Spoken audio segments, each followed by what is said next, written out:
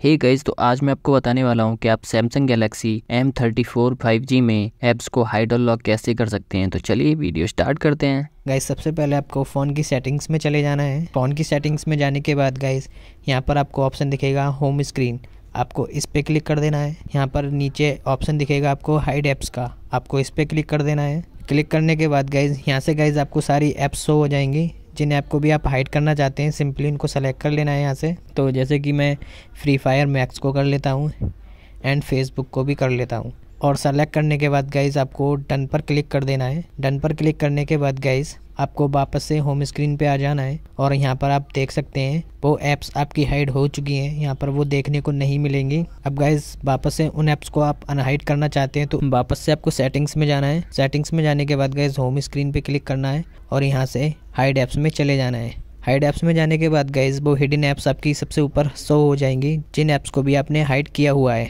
अब गाइज़ उन ऐप्स को अनहाइड करने के लिए आपको उन ऐप्स के ऊपर एक माइनस का मार्क दिखेगा। सिंपली आपको उस पर क्लिक कर देना है, उसके बाद गाइज़ आपको डन पर क्लिक कर देना है, और वो ऐप्स आपकी अनहाइड हो जाएँगी। यहाँ पर आप देख सकते हैं वो ऐप्स वापस आ चुकी हैं। तो इस तरह से गाइज़ आप Samsung Galaxy M thirty four five G में ऐप्स को हाइड कर सकते हैं। तो आई होप गाइज़ आपको वीडियो पसंद आया होगा। अगर पसंद आया तो प्लीज़ वीडियो को लाइक कर देना दोस्तों के साथ शेयर कर देना। और अगर नए हो तो चैनल को सब्सक्राइब ज़रूर कर देना। मैं मिलता हूँ आपको नेक्स्ट वीडियो में। तब तक के लिए कीप स्माइलिंग